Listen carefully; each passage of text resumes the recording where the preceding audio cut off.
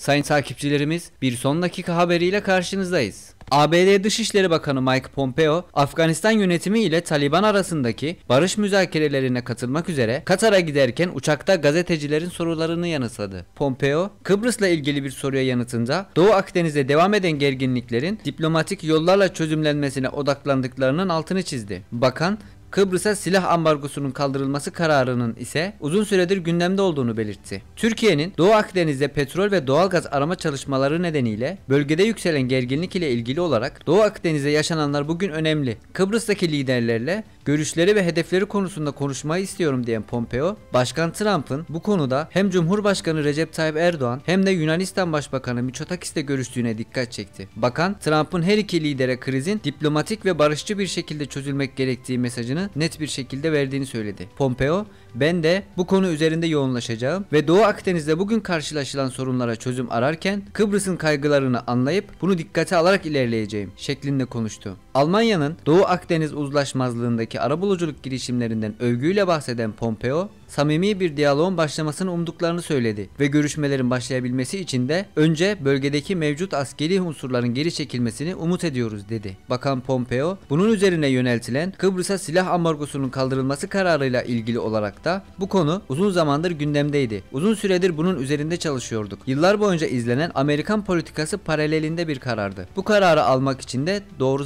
zamandı. Bu yüzden de kararla ilgili tüm riskleri dikkate aldığımızdan emin olduktan sonra değerlendirmelerimizi tamamladık ve hızlı bir şekilde karar verdik ifadelerini kullandı. Amerika'nın bu ayın ilk haftasında 33 yıldır yürürlükte olan Kıbrıs'a silah ambargosunu kaldırma kararına Türkiye'den tepkiler sürüyor. ABD Kongresi 2019 yılı Aralık ayında ambargoyu kaldırma kararı almıştı. Temsilciler Meclisi ve Senato savunma bütçesi yasa tasarısı kapsamında bu kararı almıştı. Türkiye ve dünya gündeminden en sıcak gelişmelerden anında haberdar olmak için lütfen kanalımıza abone olmayı unutmayın.